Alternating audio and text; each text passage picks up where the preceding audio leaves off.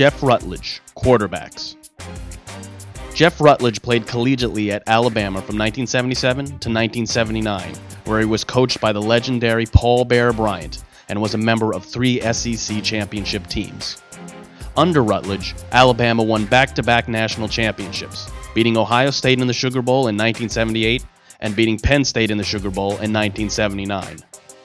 Drafted by the Los Angeles Rams in 1979, Rutledge played 14 seasons in the NFL.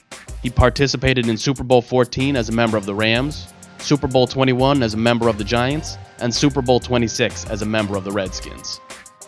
After his playing career, Rutledge was quarterbacks coach for Vanderbilt and head coach of Montgomery Bell Academy in Nashville, Tennessee, whom he led to a 41 and 17 record from 2002 to 2006, with two state titles and a number 15 ranking in the final USA Today poll in 2003.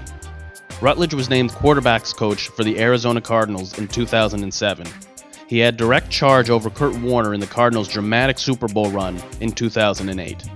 After coaching quarterbacks and tight ends for the New York Sentinels in the UFL, Rutledge returned to the high school game, becoming the head football coach of Pope John Paul II in Hendersonville, Tennessee. Rutledge now brings his leadership and expertise to Football University.